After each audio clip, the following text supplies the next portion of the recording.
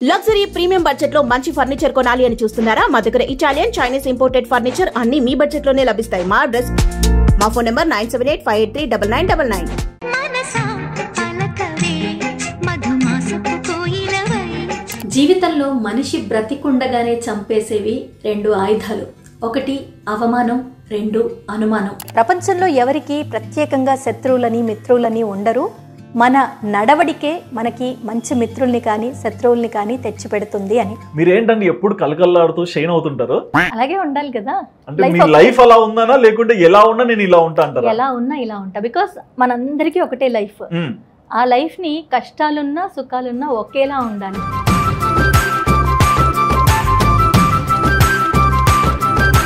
నేను BCom final ఇయర్లో ఉన్నప్పుడే నాకు మ్యారేజ్ అయిపోయింది. ఓ లవ్ మ్యారేజా అరేంజ్ మ్యారేజా అది నేను నేను అసలు చిన్న చెప్పలేదు. చూపు ఇలా చూసారు నాకు డౌట్ కొట్టింది ఇక్కడ. లవ్ అంటే లవ్. కాదు అరేంజ్డ్ అంటే అరేంజ్డ్ కాదు. మరి ఏంటండి పెళ్ళయింది కదా? మాట్లాడుతూనే ఉండేదాన్ని మాట్లాడుతూనే ఉండేదాన్ని. మా వారా వంద మాట్లాడితే ఆ సరే అమ్మా అంటారు. అంతే అంతే. ఒకటే ఇలాగే ఒక్కటే. మాట్లాడిరా ఏం ఉండదు. నేను మాట్లాడే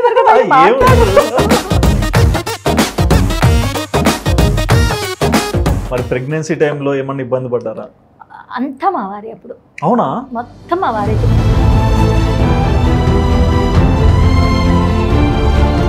అమ్మ గుర్తుకు రాలేదు సుధీర్. అమ్మ నాన్న అంటే ఈ రోజుకి చెప్పనా నిజంగా? తను నాకు భర్త నేను నేను చాలా ఇంటర్వ్యూస్లో చెప్పింది అది. తను ఈ రోజు నేను హస్బెండ్ అని ఫీల్ అవ్వను. Is my like best friend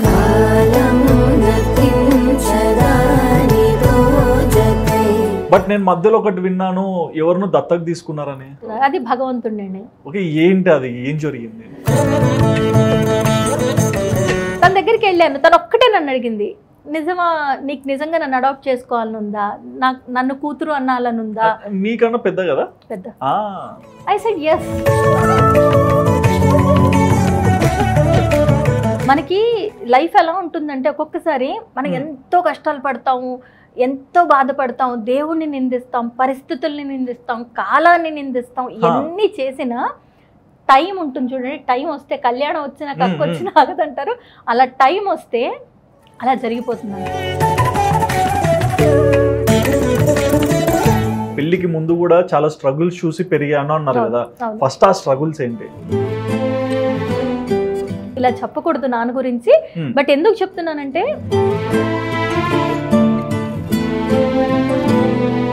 first operation అయ్యాక కళ్ళు తెరిచాక నన్ను ఒక్క నన్ను కిట్టు అని పిలిచేవాళ్ళు ఇంట్లో. నన్ను ఒక్కదాన్ని మాత్రం చూసి తను ఎవరు అంటే కిట్టు అన్నారు.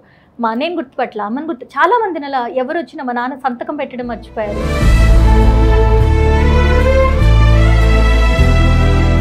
నాకు ఒకవేళ నేను బ్రతికుంటే ఓ సెవెంటీ ఫైవ్ ఇయర్స్ ఉన్నాను అనుకో ఆ సెవెంటీ ఫైవ్ ఇయర్స్లో కూడా నాన్న అన్న మాట ఎత్తితే నాకు ఇంతే బాధ వస్తుంది.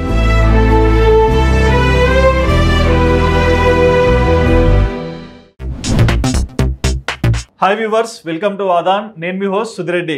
ఇవాళ మన స్టూడియోలో ఒక స్పెషల్ గెస్ట్ ఉన్నారండి. బేసిక్గా తన గురించి మనం సోషల్ మీడియాలో ఎక్కువగా చూస్తుంటాము. ఒక ఆర్టిస్ట్ ఒక లిరికిస్ట్ అండ్ మరోపక్క ఏంటంటే వాయిస్ ఓవర్స్ కూడా ఇస్తుంటారు. అండ్ తన మనసులో ఉన్న ప్రతి మాట కూడా తన ప్రొఫైల్ ఎప్పుడు కనిపిస్తూనే ఉంటుంది. ఇంతకీ తను ఎవరని మీరు ఎక్కువగా ఆలోచిస్తున్నారా? తను ఎవరో కాదండి. ప్రణతి గారు యుఎస్లో ఉంటారు ఇండియాలో ఉంటారు. అసలు ఎక్కడ ఉంటారు? ఎప్పటికీ అర్థమే గారు మరి ఏంటి తన జర్నీ ఎందుకు సోషల్ మీడియాలోకి వచ్చారు? Before coming to social media RJ ఉన్నారు అంతకుముందు దూరదర్శన్ చేశారు. ప్రతి ఒక్క డీటెయిల్ కూడా ఇవాళ ప్రణతి గారిని అడిగి తెలుసుకుందాం. హాయ్ అండి. ఎలా. ఉన్నారు? చాలా బాగున్నాను. మీరు ఏంటండి ఎప్పుడు కలకల్లాడుతూ షైన్ అవుతుంటారు? అలాగే ఉండాలి కదా. అంటే మీ లైఫ్ అలా ఉందనా లేకుంటే ఎలా ఉన్నా నేను ఇలా ఉంటా అంటారా? ఎలా ఉన్నా ఇలా ఉంటా. బికాస్ మనందరికీ ఒకటే లైఫ్ ఆ లైఫ్ని కష్టాలున్నా సుఖాలున్నా ఒకేలా ఉండాలి. ఉంటేనే సుఖం కష్టం ఉంది. ఇప్పుడు నేను డల్గా ఉన్నాను. సుఖం వచ్చినప్పుడు పాస్ తలుచుకుంటే ఎప్పుడూ ఏడుపు మొహాన్ని ఎప్పుడూ ఏడుస్తూ ఉండేదాన్ని. అలా వద్దు నాకు. అరే కష్టాలు కూడా ఎంత గట్టిగా ఉండి ఎదుర్కొంది ఎంత ధైర్యంగా ఎదుర్కొంది అన్న పేరు వాళ్ళు నా ఫ్రెండ్స్ అంటూ ఉంటారు కదా. చాలా సంతోషంగా సో అదేనా మీ కళ? అంతే. ఓకే. అండ్ నా ఫ్యామిలీ. ఫ్యామిలీ. నైస్. మీరు యుఎస్లో ఉంటారు ఇండియాలో ఉంటారు. మీ స్కిన్ టోన్ బ్రీడ్ ఏంటండి? యుఎస్ఆ ఇండియానా? ఇండియానే. ఇండియానే. నమ్ముతారా మీరు? నేను నమ్ముతా. మీరు నమ్మకూడదు మేము నమ్మాలి. నేను నమ్మితే వాళ్ళు నమ్మినట్టే. ఆహా అట్లా కాదండి. మేము మేము ఓన్గా మా కళ్ళతో చూస్తే మీరు యుఎస్ బ్రీడ్ అనుకుంటాం. అట్లా అనిపిస్తున్నానా యా ఆ స్కిన్ టోన్ అదంతా. ఓకే. మరి బేసిక్గా ఇండియన్స్ మనందరం మీరు ఎక్కడ సెటిల్ అయినా సరే మన హోమ్ రీడ్ ఇదే. మీ నేటివ్ ప్లేస్ ఎక్కడ? నేను పుట్టి పెరిగింది హైదరాబాద్. హైదరాబాదా? ఈ తెలంగాణ. పక్క తెలంగాణ. మాట్లాడి చూడండి తెలిసిపోతుంది మరి అంత. పద్ధతిగా అంత ఏదో ఒక మాట్లాడితే ఏమైతుందో అనే ఇంటెన్షన్తో సాఫ్ట్ ఉంటారు? ప్రాబ్లం ఏంటంటే నేను చిన్నప్పుడు స్కూల్లో ఉన్నప్పుడు కూడా ఎందుకో తెలియదు నా లాంగ్వేజ్ ఫైన్గానే ఉండేది. అంటే కొంచెం ఆంధ్ర కొంచెం తెలంగాణ మిక్స్ లాగా ఉండేది. ఇంట్లో మాట్లాడితే పక్కా తెలంగాణ వచ్చేస్తుంది. అమ్మ తిన్నవా అని ఏం చేస్తున్నవే నాన్న ఎక్కడ పోయిండు అన్న ఎక్కడ పోయిండు ఆ మస్తు పరేషాన్ చేస్తారు. ఇట్లాంటివన్నీ మామూలుగా మాట్లాడితే మేము ఇంట్లోనే మాట్లాడుకుంటాం. వెంటనే మాట్లాడుకుంటాం. వస్తావా అని కూర్చోవే కొంచెం ఒరుగు అంటారు. అంటే. పడుకో చారుబడు అంటారు. కొంచెం పడుకో అని అమ్మ కొంచెం ఒరుగు వచ్చి తిన్నవానే తింటవానే ఇట్లనే మాట్లాడతా. అమ్మ వాళ్ళతో అలాగే వచ్చేస్తుంది. కానీ అదే మళ్ళీ ఫ్లిప్ చేస్తే బయట ఎక్కడైనా సరే ఇలా మాట్లాడతాను. అది వాంటెడ్లీ మాట్లాడుతున్నట్టు కాదు. మీరు మాట్లాడుతూ ఉండండి ఇప్పుడు మీతో ఇలాగే మాట్లాడతా. అదే ఆశ్చర్యపోతారు. మా ఇంటికి వచ్చి చూసారనుకోండి ఆవిడ ఈవిడ ఒకటేనా అని. బికాస్ అలా అలవాటు అయిపోయింది మరి అది ఎందుకో నాకు అది తెలియదు అలవాటు కాదండి. ప్రపంచంలో ఎవరు ఎక్కడున్నా సొంత గూట్లో ఉన్నప్పుడు రియాలిటీలో బ్రతుకుతారు. అంతే. అక్కడ నిక్కర్ వేసుకుంటే నిక్కర్లోనే ఉంటారు. ఇప్పుడు రియాలిటీలోనే బతుకుతున్నాడు. బికాస్ మా వారు ఆంధ్ర. ఓకే. అత్తగారు ఆంధ్ర. పుట్టినలు తెలంగాణ. సో హైదరాబాద్ వచ్చినా కూడా విడిపోయాక కదండి ఇది. విడిపోక ముందు అంతా ఒకటే కదా. Yeah. And to be frank చెప్పాలంటే ఈటీవీ వల్ల కూడా నా లాంగ్వేజ్ చాలా ఫైన్ అయింది. నేను ఈటీవీలో వర్క్ చేశాను వాయిస్ ఓవర్స్ చేశాను దూరదర్శన్ ఈటీవీ సో ఆ- అది కూడా హెల్ప్ అయింది. ఎందుకంటే స్క్రిప్టెడ్ కదా మొత్తం వాయిస్ ఓవర్ అంతా స్క్రిప్టెడ్ ఉంటుంది. సో రామోజీరావు గారికి ఒక రకంగా అంటే ఆయన ప్రతిదీ చూసేవాళ్ళు వాయిస్ ఓవర్ నాకు ఇప్పటికీ బాగా గుర్తు నేను శ్రావణ బెళగొళ అని ఎప్పుడు ఈవెంట్ ఎవ్రీ ఇయర్ ఒక ఈవెంట్ అవుతుంది అక్కడ. దానికి సంబంధించింది మూడు నిమిషాల ఇరవై తొమ్మిది సెకండ్ల వాయిస్ ఓవర్ చేశాను. నేను జాయిన్ అయిన చాలా కొత్తల్లో. నోటీస్ బోర్డులో ఈ అమ్మాయి చాలా బాగా చేసిందని with in no time notice బోర్డులో రామోజీరావు గారి అభినందన లేఖ నాకు ఉండింది. గ్రేట్ సో అది నేను ఎప్పటికీ మర్చిపోలేను. సో వాయిస్ ఓవర్ అంటే అక్కడ ఒక చిన్న ఒత్తు పలకపోయినా మళ్ళీ పంపించేవాళ్ళు. మళ్ళీ చేయండి అమ్మో రామోజీరావు గారు ఒప్పుకోరు. అలా ఇంకా బాగా అయిందని ఆయన. అంత ప్రెషర్ ఇచ్చో అంత వర్క్ నేర్పించడం వల్ల ఇవాళ ఇంత ఫ్లూయెన్సీ వచ్చింది అనుకోవచ్చు. అలా ఉండదు. నేను ఫస్ట్ నుంచి బాగా ఇష్టం ఉండొచ్చు బట్ దాన్ని ఇంకా అడిషనల్ బెనిఫిట్. ఇప్పటికీ తెలుగు భాష మీద ఎంత మక్కువ అంటే కొత్త పదాలు నేర్చుకోవాలి. ఎవరైనా మాట్లాడితే ఆ పదానికి అర్థం ఏంటి? మా గురువు గారు ఉన్నారు. గురువు గారికి నా ఫ్రెండ్స్ అందరూ అంటే జర్నలిజంలోను లిరిసిస్టులుగా అందరూ అలాగే ఉన్నారు. సో కొత్త కొత్త వాళ్ళ దగ్గర నుంచి నేను నేర్చుకుంటూ ఉంటాను నాకు నేర్చుకోవడం ఇష్టం బేసిక్గా. ఓకే. ఇంకా మీ సబ్జెక్ట్లోకి వెళ్దాం. మరి మీరు హైదరాబాద్ అన్నారు. అండ్ ఇక్కడే పుట్టి పెరిగారు అన్నారు కదా. మరి ఏం చదువుకున్నారు? నేను గ్రాడ్యుయేషనే బీకామ్ బీకామ్ బీకామ్ ఓకే ఆ తర్వాత కామ్గా మాత్రం ఉండను అదే మీరు కామ్ కాదులేండి బీ కామ్ అని మాకు చెప్తున్నారు. అదే బీకామ్ చేశాను గ్రాడ్యుయేషనే నేను బీకామ్ ఫైనల్ ఇయర్లో ఉన్నప్పుడే నాకు మ్యారేజ్ అయిపోయింది. ఓ లవ్ మ్యారేజ్ అరేంజ్ మ్యారేజా అది నేను నేను అసలు చిన్న చెప్పలేదు చూపు ఇలా చూసారు నాకు డౌట్ కొట్టింది ఇక్కడ. లవ్ అంటే లవ్. కాదు అరేంజ్డ్ అంటే అరేంజ్డ్ కాదు. మరి ఏంటండి పెళ్ళయింది కదా? ఆయన చూసారు ఒకరికొకరు నచ్చాం మాట తీరు అంతా నచ్చింది. పెళ్ళి చూపులు జరిగాయి. పెళ్ళి చూపులు కూడా కాదు మ్యాట్రిమనీలో చూసారు ఆయన నన్ను. మ్యాట్రిమోనీలో చూసి? కాల్ మాట్లాడారు. ఆయన మాట్లాడంగానే ఎందుకో తెలియదు ఓకే. ఏమో అనిపించింది. ఆ. ఈయనేనేమో నాకు గాడ్ సిగ్నల్ ఇచ్చాడు అని అనిపించింది. ఆ. ఊపర్ వాళ్ళ సిగ్నల్ దేతా అంటారు కదా. సో అయిపోయింది. అలా మాట్లాడాము. నో పెళ్ళి చూపులు నథింగ్. ఆయన US లో ఉన్నారు నేను ఇండియాలో ఉన్నాను. కాల్ మాట్లాడుకున్నాను జూన్ ట్వంటీ ఫోర్త్. ఆ, చేసుకుంటాము అనుకున్నాము. మ్యాట్రిమోనీలో నువ్వు డిలీట్ చేయి నేను డిలీట్ చేస్తా అనుకున్నాను డిలీట్ చేసేసాము. కమిషన్ బొక్క. మీరు ఇప్పించుకోండి ఏదో ఆయన. వచ్చారు. విత్ ఇన్ టెన్ డేస్లో మ్యారేజ్ చేసుకున్నారు. వెళ్ళిపోయారు. విత్ ఇన్ వన్ మంత్ నేను యుఎస్కి వెళ్ళాను. మళ్ళీ ఇంక అక్కడి నుంచి వస్తున్న వర్క్ చేసుకుంటూ. కంప్లీట్గా మాత్రం ఫిఫ్టీన్ ఇయర్స్ బ్యాక్ అసలు ఈ స్టోరీలో గ్యాప్ ఎక్కడ ఉందండి గ్యాప్ లేదు అదే కదా చూశారు వచ్చారు పది రోజుల్లో పెళ్ళి కథం నెలలో యుఎస్ యుఎస్ అంటే ఆయన ఎప్పటి నుంచో ప్లాన్ వేసినాడా? ఇట్లా ఈ అమ్మాయిని చేసుకోవాలి ఇవన్నీ అరేంజ్ చేసుకోవాలి పది రోజుల్లో పెళ్ళి మా వారు ఏమంటారు తెలుసా సుధీర్? నాకు నువ్వు కాలేజ్లో ఎందుకు పరిచయం కాలేదు అంటారు ఇంకా. లేట్గా పరిచయం అయ్యావు ముందే పరిచయం అయింటే ఇంకా లైఫ్ బాగుండేది నీకు. నాకంటే నాకు యాక్టింగ్ చాలా ఇష్టం. అవును. నాకంటే డాన్స్ ఇష్టం మ్యూజిక్ ఇష్టం యాక్టింగ్ ఇష్టం మ్మ్. రాయడం ఇష్టం మాట్లాడడం ఇష్టం ఇవన్నీ సో నేను ఇంకా ఇంట్లో అమ్మ నాన్న అన్నయ్యలకి అస్సలు మీడియాలో ఉండడం మా దగ్గర ఎవరు మీడియాలో లేరు. అవును. ఇప్పుడిప్పుడు ఉన్నారు వస్తున్నారు. చిన్న చిన్నగా వస్తున్నారు. సో. మీడియాలో ఎవరు లేరు. మా వారు ఏమంటారంటే నువ్వు నాకు కాలేజ్లో పరిచయం ఏంటే ఈ రోజు నీకు ఇది తీరలేదు కోరిక అనకుండా అన్ని తీర్చేసామని అంటే నువ్వు డాన్స్ నేర్చేసుకునే దాని ఈ పాటి. ఎంగేజ్లో కదా? ఆల్ ఇన్ వన్ అయిపోయే వాళ్ళేమో అయ్యే వాళ్ళమేమో అని అని అనిపిస్తూ ఉంటుంది. కానీ ఇప్పుడు మీ హస్బెండ్ నేటివ్ ప్లేస్ ఎక్కడ? తను వైజాగ్. వైజాగ్. అబ్బా వైజాగ్ అబ్బాయిలు షార్ప్. కదా? కరెక్ట్ చెప్తున్నా నేను. వాళ్ళు పట్టారంటే ఖచ్చితంగా ఒలలో పడాల్సిందే. చూసారు? అసలు ఎవరిని అంటున్నారా? లేదు ఓపెన్ చెప్తున్నా నన్ను ఏమంటారు తెలుసా? నేనే వాళ్ళు వేసానంటారా ఆయన్ని. మీరేసారా అంతే. కదా. మీరు కనిపించాకనే కదా ఆయన అలా వేసారు ఒలా ఇప్పుడు మీరేమన్నారు ఆయన వాళ్ళే ఆయన వేసారు కరెక్టే కానీ మిమ్మల్ని చూస్తే ఇంకా ఆయన సరే పెళ్ళి చేసుకుందాము మంచిగా ఒక తెలుగింటి అమ్మాయిలాగా ఉన్నారనే ఫీలింగ్ వచ్చి ఉంటుంది మరి ఒక ఒక అబ్బాయి ఎక్కడో యుఎస్ నుంచి చూసి మీకు ఫోన్ చేసి మాట్లాడితే మీరు అసలు ఇగ్నోర్ చేయకుండా అంటే మీరు అంతకు ముందు కూడా పెళ్ళికి రెడీ అయితేనే కదా మ్యాట్రిమోనీలో పెట్టేది. అంతకు ముందు ఎన్ని మ్యాచెస్ రిజెక్ట్ చేశారు? పదిహేడు మ్యాచ్లు. ఎందుకు రిజెక్ట్ చేశారు? ఎందుకు అంటే పదిహేడు మంది చూస్తున్నారు. వాళ్ళకి వాళ్ళకి అసలు నేను గుర్తున్నానో లేదో అది తెలియదు మీకు. దాంట్లో ఇద్దరు కన్నా ఎందుకు అంటే ఒకటి రెండు మాత్రం అంటే మ్యాట్రిమోనీలో పెట్టేవన్నీ నిజంగా నిజాయితీగా ఉన్న ప్రొఫైల్స్ కూడా ఉండవు. ఓకే. సో చాలా మటుకు దాంట్లో ఒక హాఫ్ మంది దాకా నాకు ప్రొఫైల్స్ కరెక్ట్ కాదని అనిపించింది. సరే. తర్వాత కొన్ని లైక్ యూనో ఏమో నాకు ఒక చిన్నప్పటి నుంచి కష్టాలలో పెరిగి ఇది చేసి ఎందుకో ఆ- సిగ్నల్ నేను చెప్పాను కదా నేను భగవంతుడిని బాగా నమ్మేదాన్ని. నాకు రైట్ పర్సన్ అయితే ఆటోమేటిక్గా డిసైడ్ అయిపోతుంది మా వారు నిజంగా చెప్పిన ఒక కాల్లో మేము ఇద్దరు మ్యారేజ్ చేసుకుందాం అనుకున్నాం. బట్ అంతకుముందు మాట్లాడిన వాళ్ళందరిలో చాలా డిస్కస్ చేసి అమ్మకి చూపించి నాన్నకి చూపించి పిన్నికి చూపించి పెళ్ళి చూపులు? పెళ్ళి చూపులాగా అవ్వలేదు. ఒక్కటైంది. అదే. చెప్తున్నా ఒక్కటైంది. అయినప్పుడు ఏంటంటే ఆయన కలవడానికి వస్తే అదే చెప్తున్నా. మ్యాట్రిమోనీలో పెట్టిన ఆయన ఫోటోకి ఆయన బయట కలవడానికి వచ్చిన దానికి ఫిల్టర్ ఉందా? ఫిల్టర్ అని చెప్పను. ఇప్పుడు మేము ఫిల్టర్ ఇప్పుడు మీరు ఇన్స్టాలో నన్ను చూస్తారు కదా. ఆ ఫిల్టర్స్కి ఎదురుగా కూర్చుని ఎంత ఫిల్టర్ ఉందో మీకు అర్థమైపోతుంది. కాదు. మామూలుగా అర్థమైపోతుంది. లిటరల్లీ నా ఫ్రెండ్ డ్రాప్ చేయడానికి వచ్చాడు నేను ఆయన్ని కలవడానికి వెళ్తానంటే నా ఫ్రెండ్ వెనుకనే ఫాలో అయ్యి వచ్చాడు నన్ను. ఓకే. బికాస్ తెలుసు ఎక్కడో ఒక్కడ నేను రిటర్న్ వచ్చేస్తాను. Because I was so young. ఆయన అప్పట్లో పోలిస్తే నాకు ఆయనకి పన్నెండేళ్ళు పదమూడేళ్ళు గ్యాప్ ఉంటాయి. ఓ మై గాడ్ కానీ దాచేశారు ఆయన. ప్రొఫైల్లో దాచేశారు. సో అలాంటివి చాలా అయ్యాయి. కానీ మా వారికి వచ్చేసరికి ఏంటంటే ఒక్క కాల్లో నాకు ఇప్పటికీ ఆశ్చర్యం. మా వారికి నాకు ఎంత ఆశ్చర్యం అంటే ఒక కాల్లో వి డిసైడెడ్ ఒక్క కాల్లో. ఎట్లా నమ్మకం వచ్చింది? అది కూడా ఇక్కడ ఉన్నాడు ఎంక్వైరీ చేయడానికి కూడా యుఎస్లో ఉంటారు. తెలీదు. దట్ అదే అంటున్నాను. మనకి లైఫ్ ఎలా ఉంటుందంటే ఒక్కొక్కసారి మనం. ఎంతో కష్టాలు పడతాము. ఎంతో బాధపడతాం దేవుణ్ణి నిందిస్తాం పరిస్థితుల్ని నిందిస్తాం కాలాన్ని నిందిస్తాం. ఎన్ని చేసినా టైం ఉంటుంది చూడండి. టైం వస్తే కళ్యాణం వచ్చినా కక్కు వచ్చినా ఆగదంటారు. అలా టైం వస్తే అలా జరిగిపోతుంది అంతే. ఓకే. నేను అది బాగా నమ్ముతాను. డెస్టినీని నమ్ముతాను. అంటే అలా అని గాల్లో దీపం పెట్టి దేవుడా నువ్వే దిక్కు అనే తత్వం కాదు. నేను. కష్టపడతాను నేను కష్టపడతాను ప్రయత్నం చేస్తాను నమ్ముతాను. అన్నీ చేసి ఎదురుగా వచ్చింది మన రైట్ టైంలో అది మనకి రైట్ అని మనకి తెలుసుకునే జ్ఞానం మనలో ఉంటే లైఫ్ చాలా బాగుంటుంది.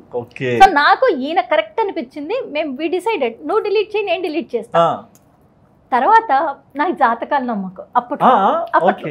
ఇప్పుడు కూడా ఇప్పుడు కూడా నేను ఎక్కువ దాని గురించి మాట్లాడిన. ఎందుకంటే ఇప్పుడు నాకు జాతకాలు ప్రమోట్ చేయమంటే నేను చేయనని. చెప్పాను ఇండివిజువల్ ఒపీనియన్ అది. మా వారికి చెప్పాను నేను జాతకం చూపిస్తానని. ఒకవేళ జాతకంలో వద్దు అని వస్తే ఏం చేస్తావు అని అడిగారు. అయినా చేసుకుంటా అని చెప్పాను చెప్పాను మరి అంటే ఇది లవ్ మ్యారేజే? లవ్ ఏ ఉంది అదే రోజు. ఇది జూన్ ట్వంటీ ఫోర్త్ డిస్కషన్లోనే ఇది అయినా కూడా జూన్ చేసుకుంటా. మంతే. ట్వంటీ ఫోర్త్ వస్తుంది మళ్ళీ సెలబ్రేట్ ఓకే. అయినా చేసుకుంటా అన్న. తీరా నేను జాతకం చూపించాక ఆయన సెవెంటీ ఫైవ్ పర్సెంట్ మ్యాచ్ అయింది. కానీ నీకు వెయిట్ చేస్తే నైంటీ ఎయిట్ పర్సెంట్ మ్యాచ్ అయ్యే ప్రొఫైల్ ఉంటుంది అని అన్నారు ఆయన. ఓకే అంటే వేరే వాళ్ళది. ఎందుకంటే ముందు స్ట్రగుల్ అవుతావు. మ్యారేజ్ చేసుకున్నాక ఒక టెన్ ఇయర్స్ టు అలా కొంచెం స్ట్రగుల్ అవుతావు ఫినాన్షియల్గా అన్ని అన్ని విధాలుగా స్ట్రగుల్ అవుతావు అన్నారు బట్ నాకు ఎందుకో ఆయనతో మాట్లాడే కదా ముందు రోజు. I don't know I connected okay. ఇతనే రైట్ పర్సన్ మనసు చెప్తోంది. సెవెంటీ ఫైవ్ పర్సెంట్ కదా ఒక్కటి అడిగే ఆయన్ని. ఆయన పేరు ఆయన ఉజ్రిలో ఉండేవాళ్ళు. ఆయన ఒక మాట అడిగాను సార్ అనంతరావులు ఆయన పేరు? నేను ఇతన్ని చేసుకోవడం వల్ల నా వల్ల ఇతనికి ఏమైనా ఇబ్బంది కలుగుతుందా? అని అడిగాను. వెళ్ళిపోయారు. అడిగాను. నిజంగా అడిగాను. బికాజ్ నా తత్వం ఎలాంటిదంటే నాకు కొంచెం ఇబ్బంది కలిగినా నేను మిమ్మల్ని ఇబ్బంది పెట్టొద్దు అని అనుకుంటాను. ఓకే. సో అనగానే ఆయన ఏమన్నారంటే ఇబ్బంది పడవు. ఆయనకి ఇబ్బంది లేదు. కానీ మీరు స్ట్రగుల్ అవుతారు. సిచ్యువేషన్స్ ఫినాన్షియల్గా లైఫ్ సెటిల్మెంట్ మా వారు కూడా అదే చెప్పారు. అమెరికాలో ఉన్నానని చాలా హోప్స్ పెట్టుకొని నన్ను పెళ్ళి చేసుకోవద్దు. స్క్రాచ్ నుంచి నా లైఫ్ స్టార్ట్ చేస్తున్నాను. స్టార్ట్ అవుతోంది. సో మీరు దానికి ఓకే అయితేనే పెళ్ళి చేసుకోండి అన్నారు. ఐ డోంట్ నో నేను అప్పుడు ఇక్కడ టు బి ఫ్రాంక్ చెప్తున్నాను. మంచి అంటే లైక్. చదువుకుంటున్నాను. నాకు నచ్చిన ప్రొఫెషన్ చేసుకుంటున్నాను. వాయిస్ ఓవర్స్ చేసుకుంటున్నాను. నాకు ఇక్కడ ఇష్టమైన ప్రొఫెషన్ ఉంది. అన్నీ ఉన్నా కూడా సైడ్ ఓకే ఓకే సో అలా మీరు. అమెరికా వెళ్ళిపోయారు ఇంకా? అలా ముందు స్ట్రగుల్ చేసాము మా చిన్నది పుట్టిన తర్వాత స్ట్రగుల్ అయ్యాము. కొన్ని క్వశ్చన్స్ అండి. అంటే మీరు చెప్పే దాంట్లో పెళ్ళికి ముందు కూడా చాలా స్ట్రగుల్స్ చూసి పెరిగాను అన్నారు కదా. ఫస్ట్ ఆ స్ట్రగుల్స్ ఏంటి? స్ట్రగుల్స్ ఏంటంటే అంటే మీరు ఎంతమంది పిల్లలు? మేము ముగ్గురం. ఒక అన్నయ్య. ఒక తమ్ముడు మధ్యలో నేను. ఓకే. అమ్మ హోమ్ మేకర్ Hmm. నాన్న R and B department engineer కాకపోతే ఏంటంటే నాన్న మాకు ఊహ తెలిసే వరకే ఆ, ఆల్కహాలిక్ బాగా తాగేవారు. ఓకే ఆల్కహాల్ ఇప్పుడు నాన్న లేరు ఇలా చెప్పకూడదు నాన్న గురించి. బట్ ఎందుకు చెప్తున్నానంటే ఇవాళ మా నాన్న ఇవాళ మా నాన్న మా మధ్య లేరు కానీ ఆయన ఇచ్చిన జ్ఞాపకాలు ఎన్నో మంచివే ఉన్నాయి మాకు. అవును. సో దానివల్ల ఏమైపోయిందంటే నాన్న బాగా డ్రింక్ చేసేవాళ్ళు. సో ఇంటి గురించి పెద్ద పట్టింపు ఉండేది కాదు. ఉద్యోగం చేసేవాళ్ళు అంతే. అన్నీ అమ్మే చూసుకుంది. మొత్తం. జీతం ఇంటికి ఇచ్చేవాళ్ళు కాదు. జీతం అంతా తాగుడికే వెళ్ళిపోయేది. ఎలా పెంచింది ఎలా పెరిగాం ఏం తిన్నాం ఎలా ఉన్నాం నేను అంతా గవర్నమెంట్ స్కూల్లోనే చదివాను. Government school. చదువు అంతా ఆ, నేను ఫస్ట్ నా ప్రైమరీ జరిగింది. మలక్పేటలో ఉంటుంది. ఎంతమందికి తెలుసు నాకు తెలియదు కానీ అమరజీవి పొట్టి శ్రీరాములు హై స్కూల్ అని ఉండేది. దాంట్లో నేను ఫోర్త్ వరకు చదివా. ఫిఫ్త్ సిక్స్త్ సెవెంత్ వచ్చేసి వాణి అప్పర్ ప్రైమరీ స్కూల్ అని ఎయిడెడ్ స్కూల్ మలక్పేటలోనే ఉంటుంది. అందులో చదివా. Eighth ninth tenth Bhagya memorial girls high school అని గవర్నమెంట్ స్కూల్ అందులో చదివా. నా ఇంటర్ వచ్చేసి నాంపల్లి జూనియర్ కాలేజ్ గవర్నమెంట్ అందులో చదివా. డిగ్రీ జాయిన్ అవ్వాలి అంటే పరిస్థితి ఎలా ఉండిందంటే అంటే లైక్ యునో మాకు ఓసీని ఓసీ Hmm. దాంట్లోకి వస్తాం. అంత తొందరగా రిజర్వేషన్ వచ్చిన రిజర్వేషన్ రావు. సో ఫస్ట్ లిస్ట్లో రాలే గవర్నమెంట్ కాలేజ్లో పెడితే సెకండ్ లిస్ట్లో రాలేదు. థర్డ్ దాంట్లో వస్తుందో రాదో తెలియదు మార్క్స్కి ఏం చేయాలి? చదువుకోవాలి. ప్రైవేట్లో ట్రై చేద్దామంటే ప్రైవేట్ స్కూల్ కాలేజ్కి డబ్బులు కట్టడానికి డబ్బులు లేవు. సో మా మావయ్య మూడో మావయ్య. మా మేనమామ వాళ్ళ అమ్మాయిని వాళ్ళ అమ్మాయి సెప్టెంబర్లో జాయిన్. తను ఐ థింక్ టెన్త్ తర్వాత ఇంటర్లో ఒక సబ్జెక్ట్ పోయినట్టుంది. సప్లిమెంటరీ రాసిన తర్వాత దాన్ని జాయిన్ చేసేటప్పుడు నిన్ను జాయిన్ చేస్తా బట్ ఫస్ట్ ఇయర్ ఫీజు కడతా తర్వాత ఇయర్ నుంచి నువ్వే చూసుకోవాలి అని. మా. నాన్న అయితే అక్కడికే చదువు ఆపేయమన్నారు. ఓకే. సో ఆ టైంలో మా మామయ్య ఫస్ట్ ఇయర్ ఫీజు కడితే చాలా లేట్గా డిగ్రీలో జాయిన్ అయ్యి ఆ తర్వాత నుంచి దల్షునర్లో మెడినోరా డయాగ్నోస్టిక్స్ అని ఉండేది. పార్ట్ టైం పన్నెండు వందలకి ఉద్యోగంలో జాయిన్ అయ్యి. రిసెప్షనిస్ట్గా జాయిన్ అయ్యి పక్కన మెడికల్ షాప్ ఉండేది. అందులో రవి ఇప్పుడు ఎక్కడున్నాడో ఏం చేస్తున్నాడు? రవి ఇంకా గుర్తున్నాడు రవి. నాకు గుర్తున్నాడు. రవికి నేను గుర్తున్నాను లేదు. అంటే. ఎట్లా అంటే డయాగ్నోస్టిక్ సెంటర్ కదా పేషెంట్స్ వస్తారు. వాళ్ళు ఈ సిబిపి ఎస్ఆర్ ఇవన్నీ రాసుకోవాలి వాళ్ళకి రాయాలి ఇవ్వాలి. ఎవ్వరు రాని టైంలో నేను కూర్చొని చదువుకునేదాన్ని.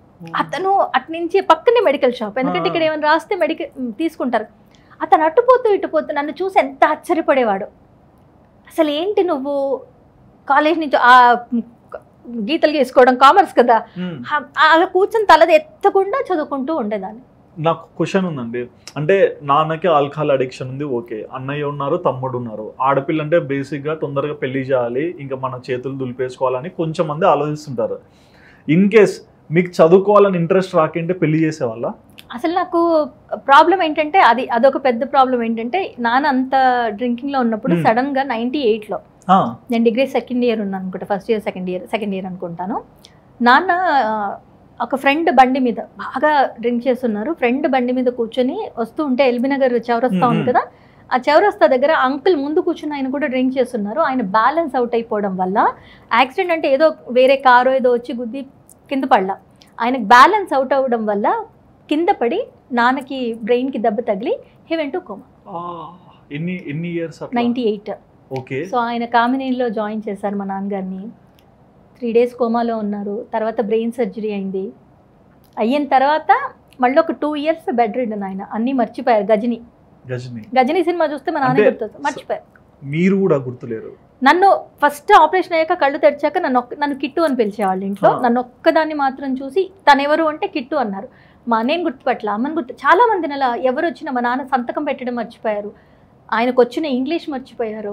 అవన్నీ నాన్న సంతకం నాకు చిన్నప్పటి నుంచి అలవాటుగా ఇప్పుడు కూడా వచ్చేస్తుంది నాన్న సంతకం. సో నేను నాన్నకి సంతకం పెట్టి చూపించేగో ఇది నీ సంతకం ఇలా పెడతావు. అలా నాన్నకి సంతకం నేర్పించాం మళ్ళీ. నాన్న. మళ్ళీ వర్క్ వెళ్ళి కష్టపడే వెళ్ళారు. ప్యారలైజ్డ్ అయింది. చాలా మంది అంటారు కదండి ఆడపిల్లకి తండ్రికి ఒక బాండింగ్ ఉంటుందని. అదే మీ నాన్నగారికి మీకున్న బాండింగ్ అనుకోవాలి. అంతే కదా? నేను ఒక ఫోటో నుంచి ఎప్పుడూ చెప్పేస్తూ ఉండేదాన్ని. నీకు. అమ్మ ఇష్టమా నాన్న ఇష్టమా అంటే అమ్మ ముందు కూడా నాకు నాన్న ఇష్టం. సడన్గా పోయారు సుధీర్. అంటే చెప్తున్నా కదా twenty eight years twenty five years అలా ఉండి చెప్పండి. ట్వంటీ ఫైవ్ ఇయర్స్ తర్వాత ఇప్పుడు సడన్గా ఎవరిని కష్టపెట్టకుండా తను కష్టపడకుండా. ఇట్ వాస్ షాక్ మాకు. అంటే నేను సండే మీకు నైట్ సండే నేను అమ్మతో ఫార్టీ మినిట్స్ మాట్లాడాను. నాన్నని జాగ్రత్తగా చూసుకో ఎండలో తిరక్కు నాన్న కోసం ఆరోగ్యంగా ఉండాలి. ఇవన్నీ చెప్పాను. సడన్గా అంటే నేను సాయంత్రాలు ఎవరితో మాట్లాడను. ఉమ్. నాకున్న లైఫ్ స్టైల్ ఒకటి ఏంటంటే నా పిల్లలు స్కూల్ నుంచి వచ్చాక యుఎస్లో మాకు సాయంత్రం Hmm. అయిన తర్వాత ఫోర్ తర్వాత నో మ్యాటర్ వాట్ ఎవరి కాల్స్ మాట్లాడు. ఫ్యామిలీ ఎవ్వరం. Until unless it is urgent మా వారైతే సైలెంట్ మా ఫోన్లు అన్నీ సైలెంట్లో నమ్మిన నమ్ముకున్న ఫోన్ సైలెంట్లో ఉంటాయి.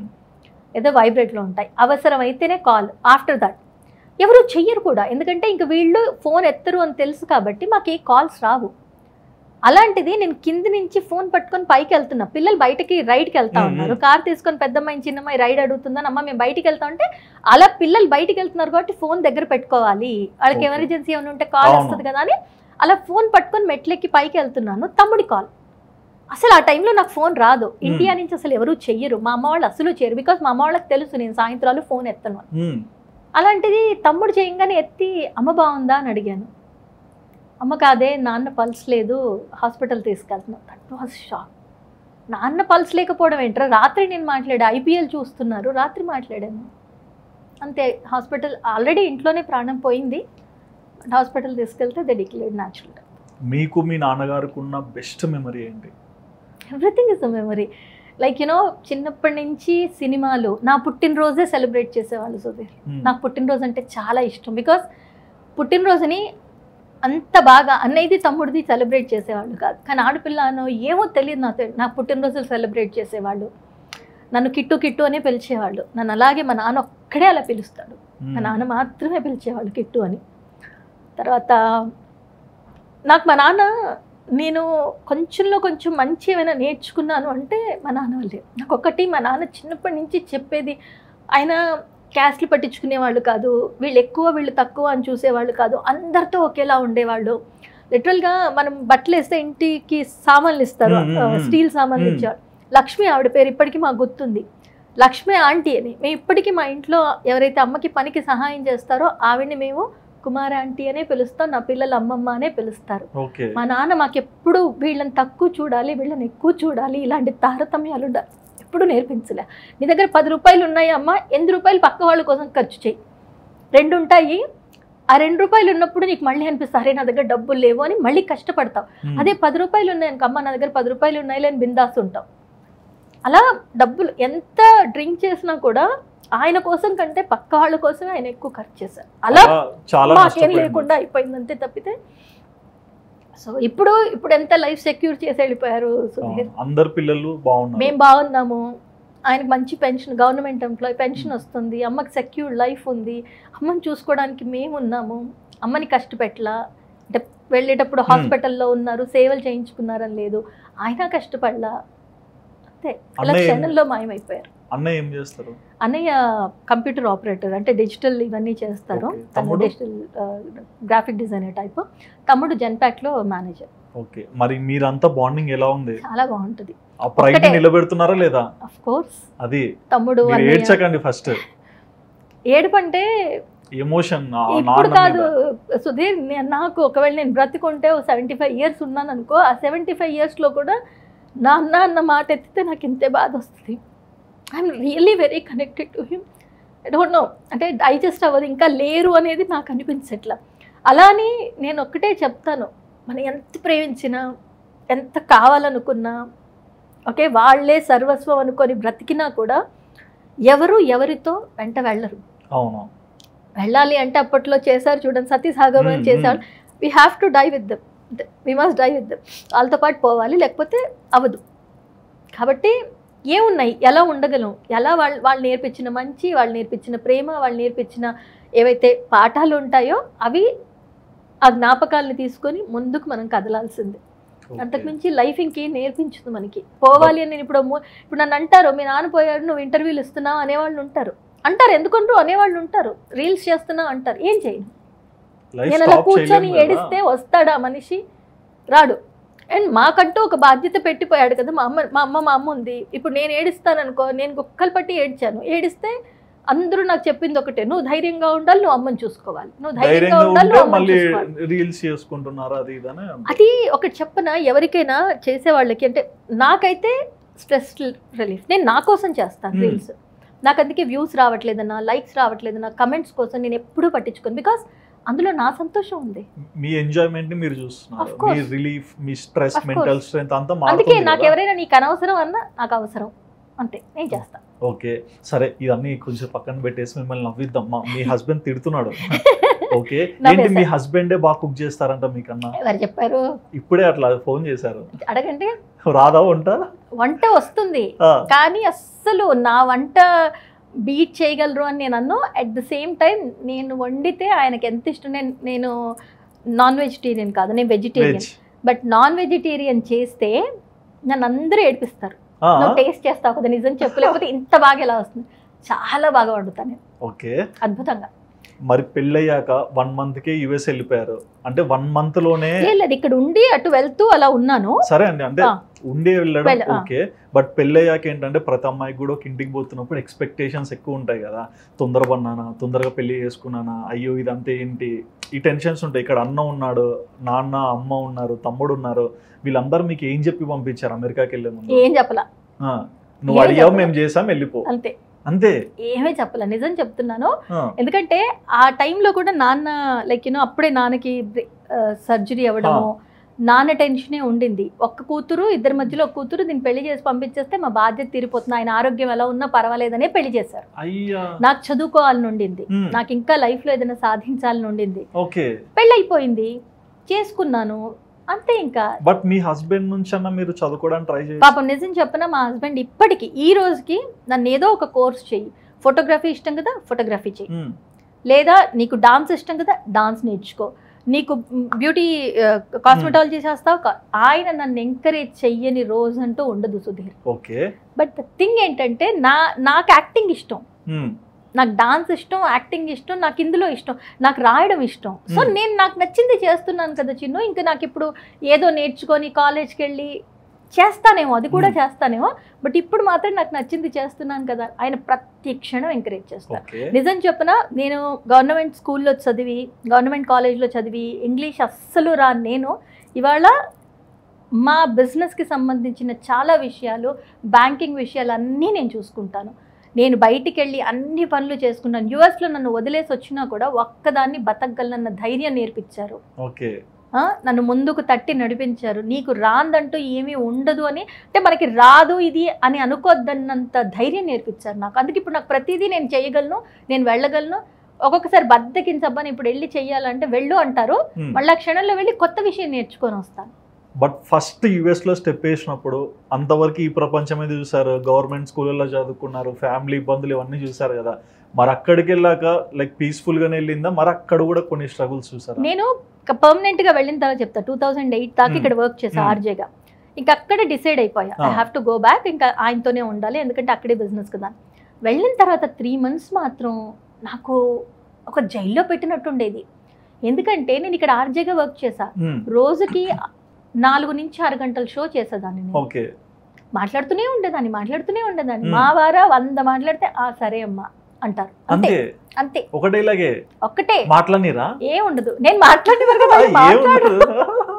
నేను ఇప్పుడు ఏమంటా తెలుసా?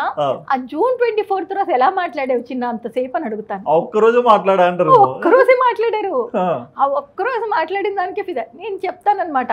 నువ్వు నువ్వు ఇంత మాట్లాడవు నీకు ఇంత కొంచెం అంటే లేజీ అని చెప్పలేను. బిజినెస్ వర్క్ అంతా టకటకా చేసినా ఎక్కడికైనా వెళ్ళాలి అంటే ఆ అలా కూర్చొని కాళ్ళు ఊపుతూ ఆ చూద్దాం వెళ్దాంలే అమ్మా వెళ్దాం. చిన్న లెవెన్ ఓ క్లాక్ వస్తానంటే వసే వాళ్ళు లేవరే నువ్వు ముందెళ్ళిపోయి నాకు పంచువాలిటీ ఎక్కువ. నేను పది నలభై ఐదు కల్లా అక్కడ ఉంటా. యాక్చువల్గా ఈవెంట్ చేసే వాళ్ళు పన్నెండింటికి వచ్చిన సందర్భాలు ఉన్నాయి. అది మా వారు అంటారు వాళ్ళు కూడా. రారు ఎక్స్పీరియన్స్ సో నేనంటే ఇవన్నీ నాకు ముందు చెప్పాలని నేను చేసుకునేదాన్ని కాదని ఏడిపిస్తూ ఉంటాను. ఓకే. మరి అక్కడికి వెళ్ళారు కదా అంతా అక్కడ సెట్ రైట్ అయ్యి ఫ్యామిలీ అంతా బిగిన్ చేసుకున్నారు మరి ప్రెగ్నెన్సీ టైంలో ఏమన్నా ఇబ్బంది పడ్డారా? అంతా మా వారి అప్పుడు. అవునా? మొత్తం మా వారే మా అమ్మ వాళ్ళు రాలేకపోయారు. అదే అదే అంటే నాకు అర్థమైంది కాబట్టి. రాలేకపోయారు. వీసా వచ్చి అంటే నాకు పాప ముందు పుట్టేది. పెద్ద పాప ఇక్కడే పుట్టింది. కాబట్టి ప్రాబ్లం లేదు. అమ్మ అమ్మనే చూసుకుంది. చిన్న పాప మాత్రం యుఎస్లో పుట్టింది. ఆ, టైంకి ఏమైపోయిందంటే ప్రీమెచ్యూర్ తను కొంచెం వన్ మంత్ ముందు పుట్టింది. ఇది ఎయిటీన్త్ పుట్టింది. అమ్మ వాళ్ళకి వీసా డేట్ ట్వంటీ ఫస్ట్ ఉండింది మార్చ్ ట్వంటీ ఫస్ట్. సో నాకు ఇది పుట్టాకే అమ్మ వాళ్ళకి వీసా వచ్చింది. గాడ్ ఇంకా అప్పుడు ఏమనిపించిందంటే మా వారు అన్నారు నేను చూసుకుంటాలేండి. అప్పుడు నాన్నకు కొంచెం ఆరోగ్యం అటు ఇటుగా ఉండింది కదా. నేను చూసుకుంటాను పర్వాలేదని మా వారే చూసుకున్నారు. బాగా చూసుకున్నారా? మా ఇప్పుడు ఎలా ఉన్నాను నేను? మా వారు అలా బాగా బేసిక్ ఆ. టైంలో ఆయన చూపించే డెడికేషన్ కానీ మీకు అమ్మ గుర్తుకు రాలేదు సుధీర్. అమ్మ నాన్న అంటే ఈ రోజుకి చెప్పనా నిజంగా? తను నాకు భర్త నేను నేను చాలా ఇంటర్వ్యూస్లో చెప్పింది అది తను ఈ రోజు నేను హస్బెండ్ అని ఫీల్ అవ్వను. Is my like best friend okay. First best friend అంట. బికాస్ ఒక ఫ్రెండే ఇంకో ఫ్రెండ్ అర్థం చేసుకోగలడు బాగా. ఇప్పుడు అంతే కదా నువ్వైనా ఇప్పుడు ఇంట్లో మీరైనా అన్ని చెప్పలేం ఫ్రెండ్స్ అన్ని చెప్పుకుంటాము. చెప్పుకుంటాము. ఏదైనా చెప్పుకోగలం. అలా నేను ఏదైనా చెప్పుకోగలను ఆయనతో. ఓకే. ఏదైనా. మీరు అడగండి ఇది చెప్తారా అంటే నేను చెప్తానని చెప్తా. ఆయన దగ్గర సీక్రెట్సే ఉండవు. ఓకే. ఏదైనా వెళ్ళిపోయి చెప్పేస్తా. మాటలలో ఒక మాట అన్నారు. అంటే స్టార్టింగ్లో ఆయన మీకు చెప్పారు కదా నేను స్క్రాచ్ నుంచి మొదలయ్యానని. ఇందాకేమో నేను బిజినెస్ అన్ని హ్యాండిల్ చేస్తా అన్నారు. ఈ స్క్రాచ్ బిజినెస్ అయ్యాక ఏం బిజినెస్ పెట్టారు? మాది కెమికల్ డిస్ట్రిబ్యూ అంతకుముందు ఆయన వర్క్ చేసేవాళ్ళు. తర్వాత టూ థౌజండ్ ఎయిటీన్ నుంచి మేము chemical distribution company chemical chain buying and selling so అది చేస్తున్నాడు. ఇట్స్ గుడ్ బాగుంది. Okay and. మీరేం చేస్తుంటారు యుఎస్లో? నేను మొత్తం మనంతా ఇదే అంతా ఇంచడమే యువర్ కూర్చొని money is my money my money is my money అని చెప్పి మా మనీలు మీవే ఆదాన్ని ఒక్కటి మీది కాదంతే. సో అలా మా వారితో ప్రతిరోజు చెప్తుంటా your money is my money my money is my money అని ఆయన డబ్బులు నేనే తీసుకుంటా నా డబ్బులు నేనే దాస్తా. అలా దాచి ఆయనకు అవసరం ఉన్నప్పుడు ఇస్తా. ఓ. చూసారా? ఓకే. అట్లా ఏమన్నా సర్ప్రైజ్ ఇచ్చారా ఆయనకి? చాలా. ఎప్పుడు సర్ప్రైజ్ అంటే ఇంకేం లేదు. మాకంటూ చెప్తున్నా కదా మాకు ఇద్దరికి ఇది తనకు తెలుసు ఇది నాకు తెలుసు ఇది తనకు తెలియదు ఇది నాకు తెలియదు అన్నట్టు ఉండదు. మేము పొద్దున్నే ఫైవ్ ఓ క్లాక్కి లేస్తాం Early మా వారైతే. త్రీకి లేస్తారు ఎందుకంటే ఆయనకి కాల్స్. ఉంటాయి. ఇండియా. కాల్స్ అవి కాల్స్ ఆ, ఆ, ఉంటాయి. బిజినెస్ కాబట్టి. సో ఆయన పొద్దున్నే లేస్తారు. నేను అరౌండ్ ఫైవ్కి లేస్తాను. ఉమ్, లేచిన తర్వాత ఫస్ట్ కాఫీ మొదలు మేమిద్దరం ఫస్ట్ మెయిన్ అంత పొద్దున్న లేవడానికి కూడా కారణం ఏంటంటే పడుకోవచ్చు. ఏడుదాకా పడుకున్న అడిగేవాడు ఎవరు లేరు. మా అత్తగారు మామగారు చనిపోయారు. ఎవరు లేరు. మేమిద్దరమే ఉంటాం మా. పిల్లలు. మా పెద్దమ్మాయి ఆల్రెడీ కాలేజ్లో ఉంది. చిన్నది స్కూల్కి వెళ్తుంది. దాన్ని స్కూల్లో డ్రాప్ చేస్తే మమ్మల్ని అడిగేవాళ్ళు. అది ఇండిపెండెంటే బాగా. కానీ మేము పొద్దున్నే లేస్తాం. ఎందుకు లేస్తాం అంటే ప్రశాంతంగా బ్యాక్యార్డ్లో కూర్చొని పక్షుల కిలకిల రావాలు ఆ చక్కటి నేచర్ని ఎంజాయ్ చేస్తూ కాఫీ తాగుతూ అన్ని విషయాలు మాట్లాడుకుంటాం. ఓకే బాగా రిలాక్స్ అవుతారు. బాగా రిలాక్స్ సెవెన్ దాకా. ఇంకా సెవెన్కి మా చిన్నది రెడీ అయిపోయి వచ్చాక సెవెన్ థర్టీకి దాని స్కూల్లో అదే డిసైడ్ చేస్తుంది ఏ పేరెంట్ డ్రైవ్ డ్రాప్ చేయాలి. ఇవాళ అమ్మ డ్రాప్ చేయాలంటే నేను వెళ్ళాలి నాన్న డ్రాప్ చేయాలంటే వాళ్ళు నాన్న వెళ్తారు. ఓకే. డ్రాప్ చేసి వచ్చే లోపల వచ్చిన తర్వాత నైన్ నైన్ థర్టీ కల్లా వంట అయిపోతుంది చేసేసుకుంటాను. పనంతా చేసేసుకుంటా. ఇండియా కాల్స్ ఏమైనా కాల్స్ ఉంటే కాల్స్ మాట్లాడుతూ పని చేసుకుంటా. డే అంతా ఆర్గనైజ్ చేసుకుంటా. నమ్మిన నమ్ముకున్న లెవెన్ కల్లా నా పనులన్నీ అయిపోతాయి. ఓకే. నైన్కి అయిపోతాయి. లేదు కొంచెం లేట్గా కాల్స్ లేదన్నా లెవెన్ కల్లా పని అయిపోతే మా వారు జిమ్కి వెళ్ళి వచ్చి మేము లంచ్ చేసిన తర్వాత. ఆ వన్ టు ఫోర్ వరకు నేను రీల్స్ అవి చేసుకుంటా వీడియోస్ చేసుకుంటాను. ఫోర్కి మా చిన్నది రాగానే మళ్ళీ దాని యాక్టివిటీస్. ఇంకా అక్కడి నుంచి ఫోన్ ఉండదు. ఫ్యామిలీ ఉంటుంది. ఇదంతా మీ లైఫ్ స్టైల్. బట్ నేను మధ్యలో ఒకటి విన్నాను ఎవరినో దత్తకు తీసుకున్నారని. దత్తత తీసుకున్నారు యా. నాకు ముగ్గురు కూతుర్లు అందుకే ఇద్దరు కూతుర్లు యాక్చువల్ బయాలజికలీ బట్ ఇంకొకరిని దత్తకు తీసుకున్నారు. అది భగవంతుండండి ఓకే ఏంటి అది? ఏం జరిగింది? ఏం జరిగిందంటే తను తెలియకుండా మా ఫ్యామిలీలోకి వచ్చింది. తెలియకుండా? యాక్సిడెంటల్గా మేము మ్యూజిక్ నేర్చుకునే వాళ్ళం ఇంట్లోనే మ్యూజిక్ క్లాసెస్ అయ్యేవి పిల్లలకి.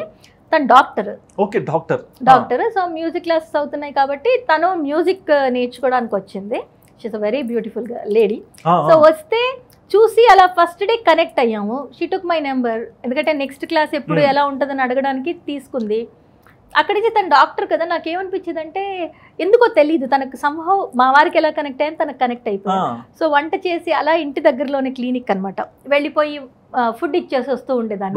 తను అమ్మలాగిస్తావు నాకు అమ్మలేని వ- తన మదర్ ఇండియాలో ఉంటారు. సో అమ్మలేని ఇది తీరుస్తున్నావు నాకు ఎంత కమ్మగా వండి పెడతావు అలా అసలు అమ్మ అమ్మ అమ్మలాగా చూసుకుంటా అమ్మలాగా చూసుకుంటా అమ్మలా చూసుకుంటా అంటే నాకు ఒకసారి కల నేను అమ్మాయిని అడాప్ట్ చేసుకున్నట్టు. Okay.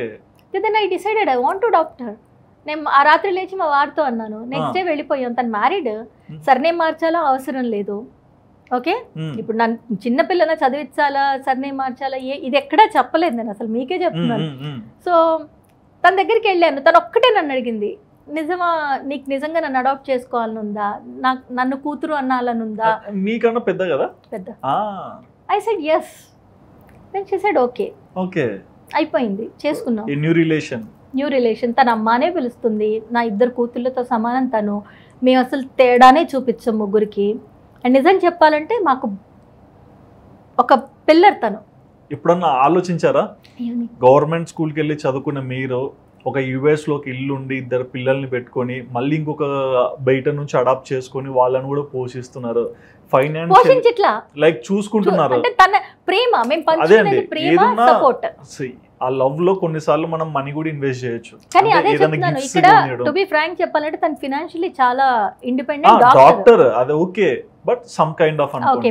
ఎప్పుడు అంటే ఈ డిఫరెన్స్ గమనిస్తుంటారా? నేను ఎక్కడో గవర్నమెంట్ స్కూల్లో చదువుకుంటుంటే నాకు డబ్బులు లేక మా బాబాయ్ మామయ్య చెప్తే ఒక ఇయర్ లేట్గా చేరి బయట ఒక హాస్ ఒక మెడికల్ షాప్లో పనిచేస్తూ అలా ఉండే లైఫ్లో ఇప్పుడు ఈ స్టేజ్కి వచ్చారు కదా. సో ఈ డిఫరెన్స్ని ఎప్పుడైనా టాలీ చేస్తుంటారా? ఖచ్చితంగా. ప్రతిరోజు. ప్రతిరోజు? ఒక్కసారైనా తలుచుకుంటా నా లైఫ్. వెనక్కి తిరిగి చూసి నేను ఒకటి చెప్తాను.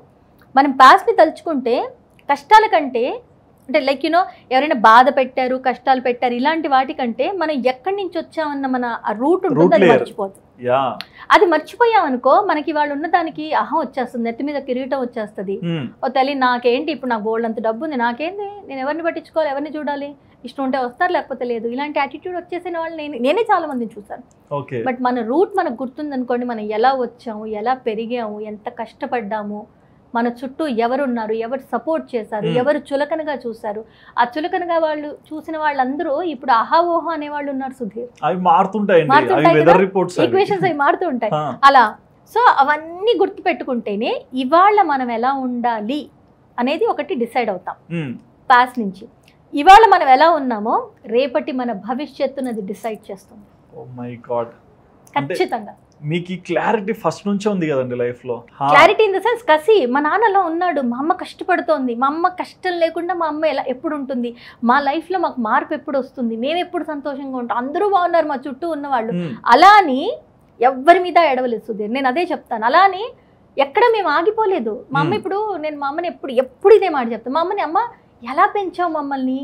ఇన్ని కష్టాలలో పెదనాన్న సపోర్ట్ చేశారు. మోరల్ సపోర్ట్ ఉంది ఎంతో కొంత ఫినాన్షియల్ కానీ అలా అని కంప్లీట్గా మొత్తం ఆ బరువు బాధ్యతలు ఎవరు తీసేసుకోవాలి తీసుకోలేరు కూడా.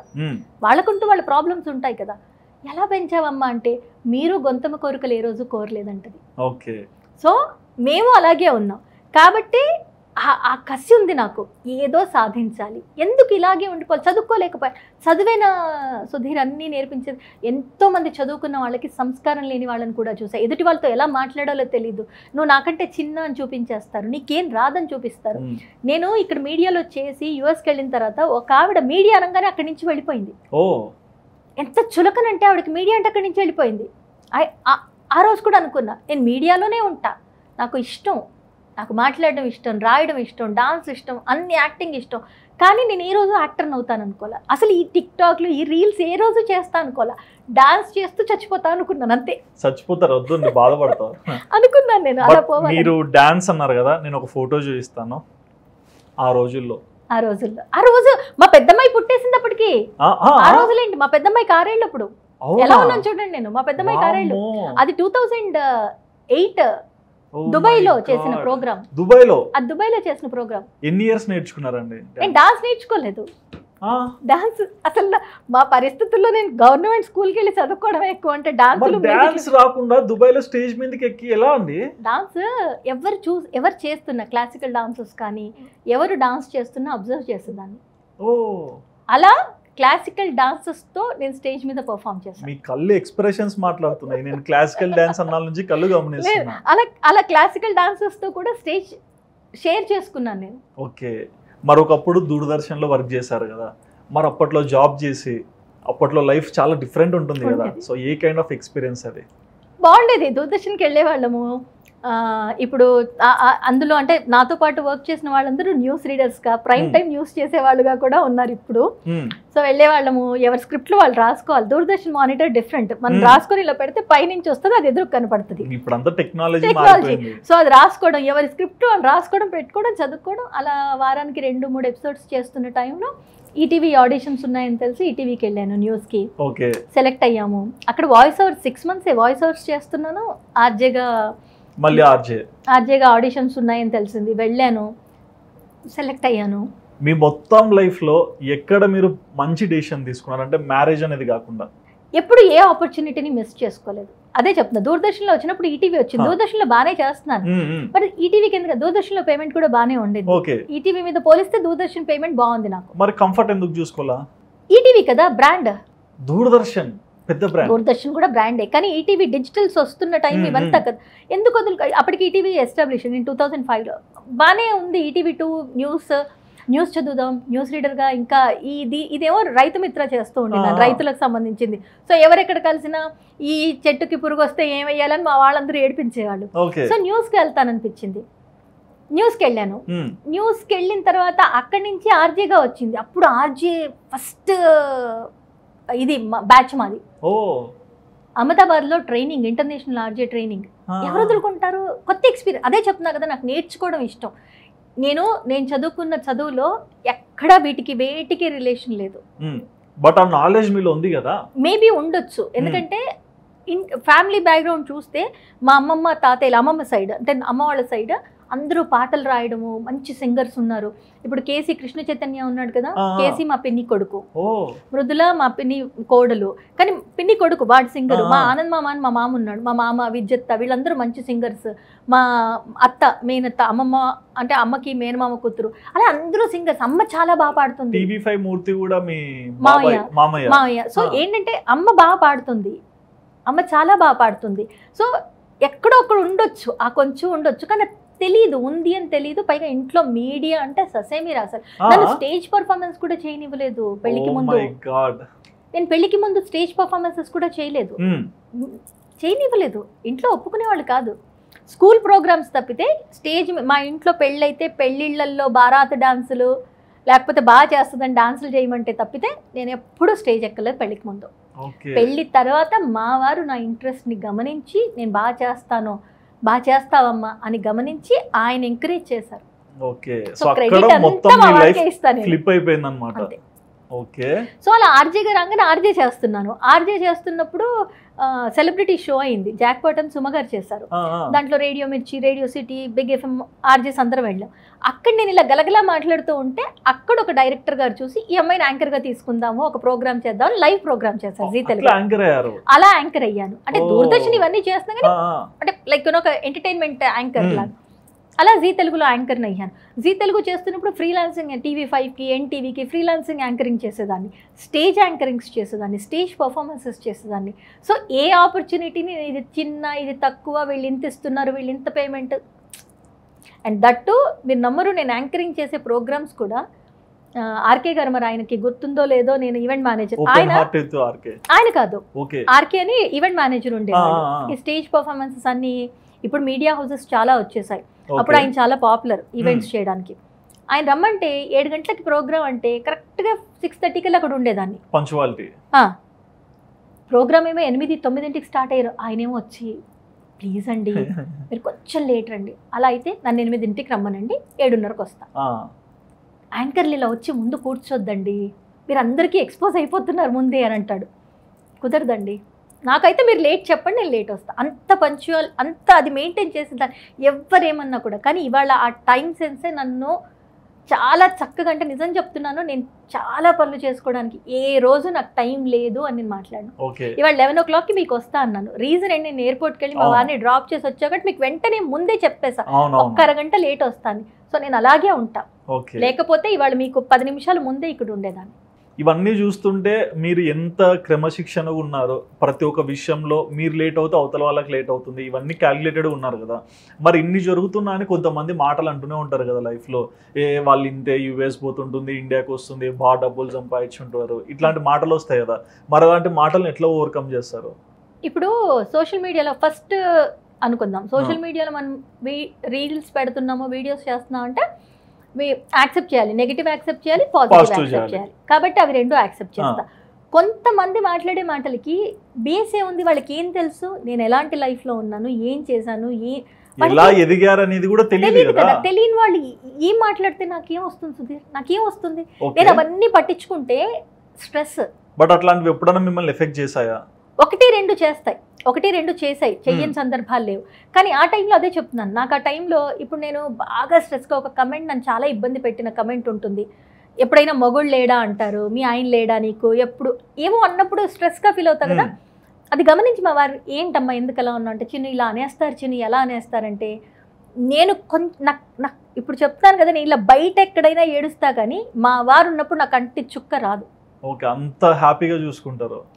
కంట్లో నుంచి ఇలా నీళ్ళు కారే లోపలే వచ్చేసి ఏమైందమ్మా ఏమైంది? ఎందుకు ఎందుకు అంత బాధపడుతున్నావు. సునీల ఎవరు నీకేం చేయాలి చెప్పి. అయితే నువ్వు నాతో రీల్ చెయ్యి. నువ్వు నాకు ఓ. సపోర్టివ్గా ఉన్నావని నువ్వు నా పక్కన ఉంటావని నలుగురికి తెలియాలి. నువ్వు ఇప్పుడు నీకు వీడియోలో కనిపించడం ఇష్టం ఉండదు. కానీ. మాట్లాడే వాళ్ళు నీకు మొగుడు లేడా మొగుడు లేడా ఏంటి? నాకు మొగుడు ఉన్నాడు. నా మొగుడు సపోర్ట్ నాకుందని తెలియాలంటే మా వారు రీల్ చేస్తారు. సో అందుక ఆయన రీల్స్లో కనిపించేది. కనిపిస్తున్నారు ఎప్పుడు లాస్ట్ డిసెంబర్ నుంచి. అదే అదే అదే. బ్లాక్ టీ షర్ట్ పొట్ట నాకు చూసే గుర్తుంది అంత కొడతా ఎందుకంటే నేను అది నేను శుభ్రంగా వండి పెట్టడం వల్లే అని చెప్పి ఆయన తిడుతూ మీరు. ఫస్ట్లోనే ఒక మాట అన్నారు తెలుసా మా వారు రోజు జిమ్కి వెళ్తారని నేను అన్నాం అనుకోండి జిమ్కి వెళ్ళి కూర్చుంటున్నారేమో అంటే ప్రాబ్లం ఏమైందంటే మా వారికి యాంకిల్ ఫ్రాక్చర్ ఆయనకి పాపం. రెండు సార్లు దెబ్బ మీద దెబ్బ ఆయన చాలా స్లిమ్గా ఆ. యాంకిల్ ఫ్రాక్చర్ అయింది ఆ సిక్స్ మంత్స్ పూర్తిగా సర్జరీ అది దాంతో లేవలేకపోయారు జిమ్ చేయలేదు కాబట్టి Hmm. అక్కడ వచ్చింది మళ్ళీ ఆయనకి రీసెంట్గా మళ్ళీ షోల్డర్ ఇంజురీ అయింది సేమ్. సో ఏమైపోతుందంటే పాపం ఆయన కొంచెం గెట్ బ్యాక్ వచ్చి అందరూ మీ వారికి మొన్న నేను పెడితే కూడా మీ వారికి పొట్టుంది అంటే అరే మీకేం నష్టం? ఓ వాళ్ళు కూడా అన్నారా? సారీ comment లో మేడం ఒక్కళ్ళు ఇద్దరు. మేడం మీ వారికి పొట్టుంది. ఆ పొట్ట ఉంటే మీకేం నష్టం అయ్యా? ఏం నష్టం? నిజంగా హెల్త్ చూసుకోవాల్సింది ఆయన. ఆయన రెగ్యులర్గా జిమ్ ఎవ్రీ డే జిమ్ చేస్తారు. ఓకే. కానీ కొన్ని తగ్గించడం మనము ఏదైనా చూడండి మంచి చేయరు ఇందాకే మనం అనుకున్నాం మంచి. చేయడానికి ఎంత టైం పడుతుందో ఇలాంటివి speed. ఒళ్ళు వచ్చిందంటే తగ్గడానికి అంతే టైం ఇప్పుడు నేను చాలా సన్నగా ఉండేదాన్ని. నాకు సర్జరీ అయ్యి స్టెరాయిడ్స్ వల్ల నేను కొంచెం లావ్ అయ్యా మధ్యలో అంటే like surgery. Pain killers steroids కొన్నిటికి తగ్గకపోతే ఇచ్చేస్తారు. స్టెరాయిడ్స్ మెడిసిన్ తప్పదు ఆ- డోస్ వాడాల్సిందే ఇంకా తప్పదు అంటే. వాడాల్సిందే అలా నేను నా థొరాసిక్ అవుట్లెట్ సిండ్రోమ్ నాకు సర్జరీ అయినప్పుడు నేను చాలా మెడిసిన్ మీద ఉన్నాను కపుల్ ఆఫ్ ఇయర్స్ ఉన్నాను ఇయర్స్ వచ్చింది ఒళ్ళు వచ్చింది. తగ్గించుకోవడానికి ప్రయత్నం చేశాను మధ్యలో నేను ఫిఫ్టీ సెవెన్ ఉన్నదాన్ని ఫిఫ్టీ కేజెస్కి వచ్చాను మళ్ళీ ఇప్పుడు ఫిఫ్టీ ఫైవ్ ఉండిన్నాను యూఎస్లో ఉన్నప్పుడు మా నాన్నగారికి తెలిసాక వచ్చి ఆ స్ట్రెస్ అంతా కలిపి ఇప్పుడు ఈ మంత్లో నేను త్రీ కేజెస్ పెరిగాను. ఇప్పుడు ఫిఫ్టీ సెవెన్ ఫిఫ్టీ ఎయిటో ఉన్నాను. సో ఆ స్ట్రెస్ని బేస్ చేసుకొని లైఫ్ స్టైల్ని బేస్ చేసుకొని ఉంటుంది కానీ.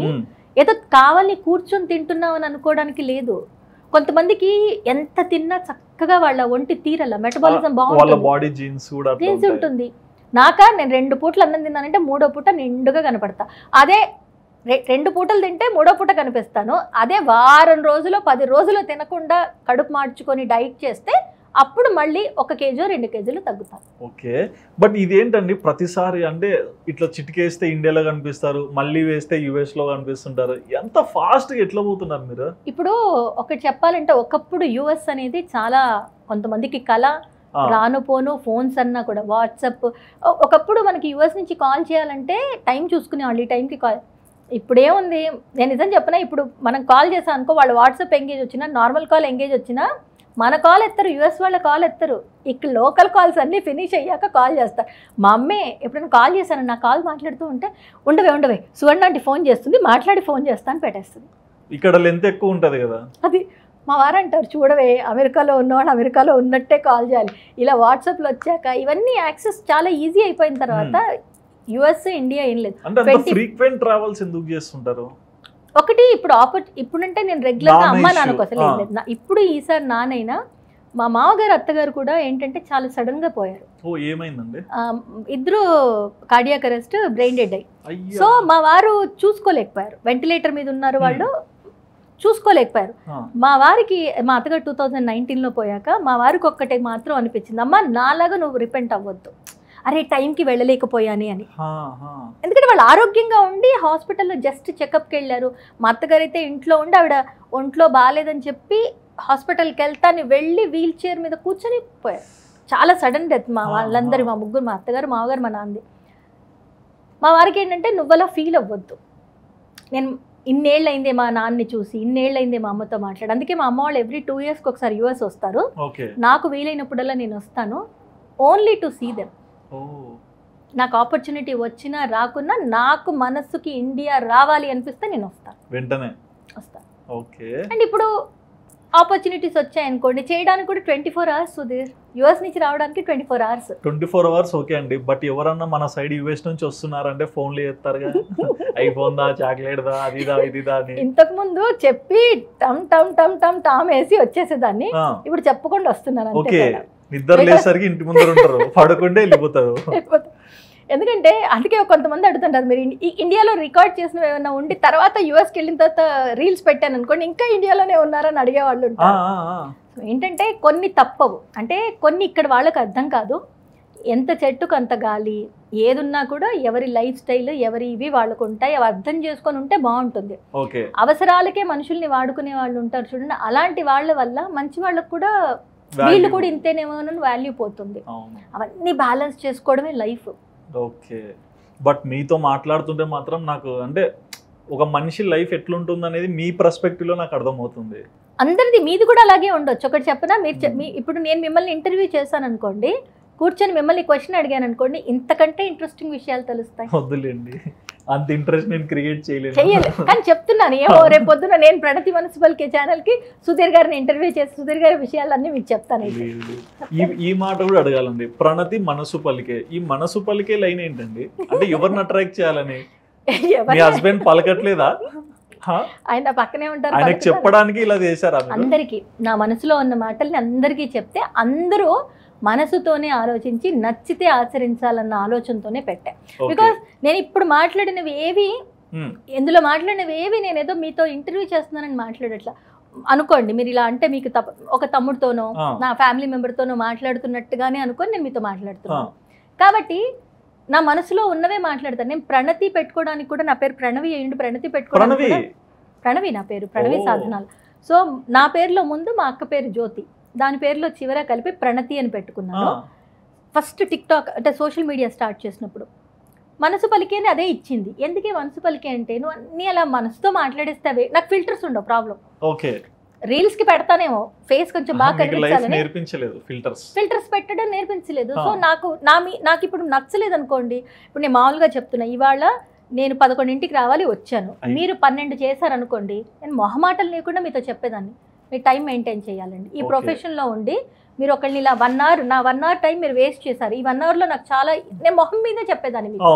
నేను ఆలోచించుతాను ఓ ఈయన నన్ను ఇంటర్వ్యూ చేస్తున్నారు ఎందుకు లేపో అని. నేను అనుకోను.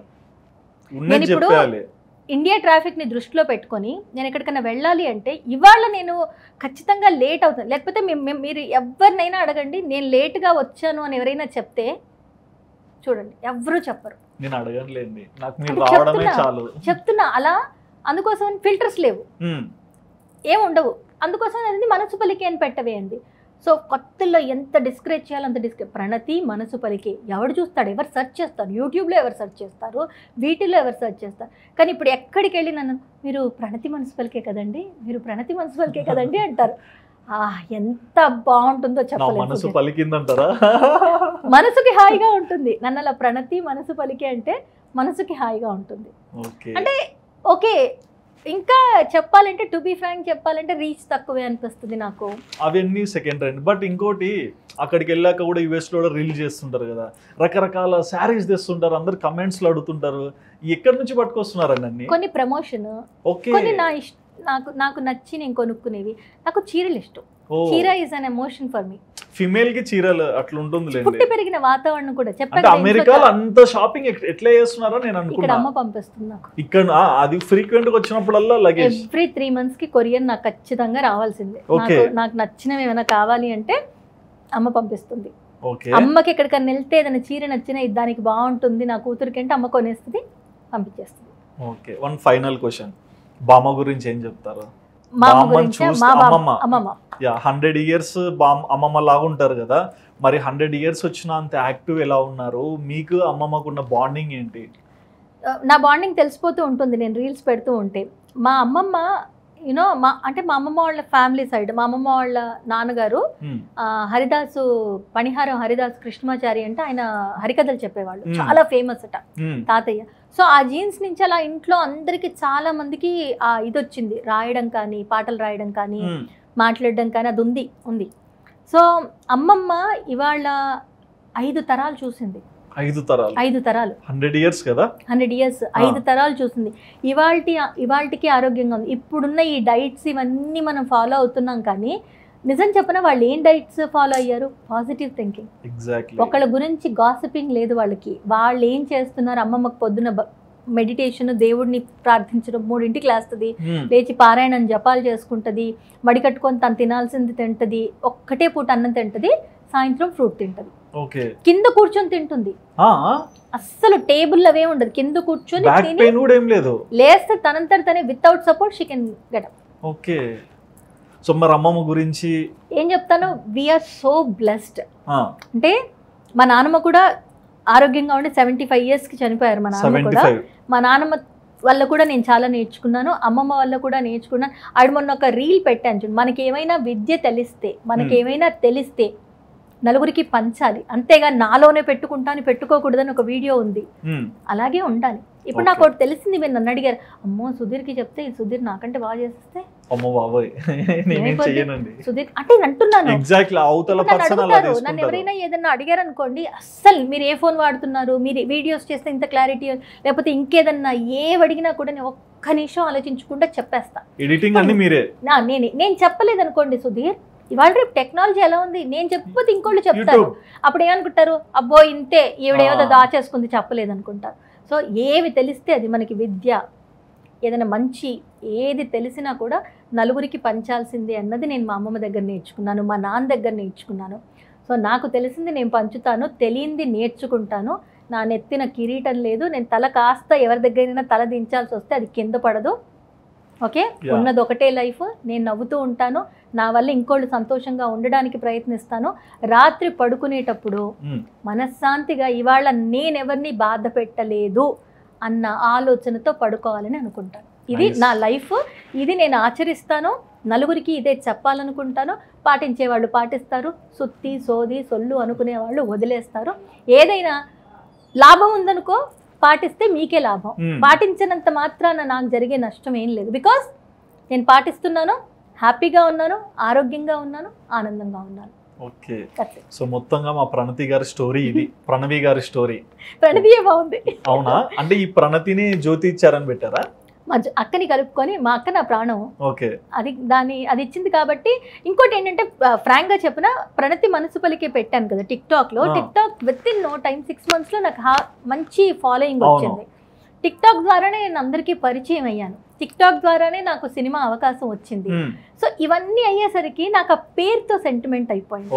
ప్రణతిగానే తెలుసు అందరికి ఇప్పుడు చాలా మళ్ళీ. పేరు మార్చడం ఇబ్బంది. అంతకు ముందున్న వాళ్ళకి ప్రణవి తెలుసు కానీ సోషల్ మీడియా స్టార్ట్ అయినప్పటి నుంచి నన్ను అందరూ ప్రణతి అనే పిలుస్తారు. నాకు విండాను. ప్రణవి అయినా ప్రణతి అయినా నేనే కాబట్టి ఎలా పిలిచినా పలుకుతాను అనుకుంటాను. ప్రణతి అనే పిలుస్తారు అందరూ.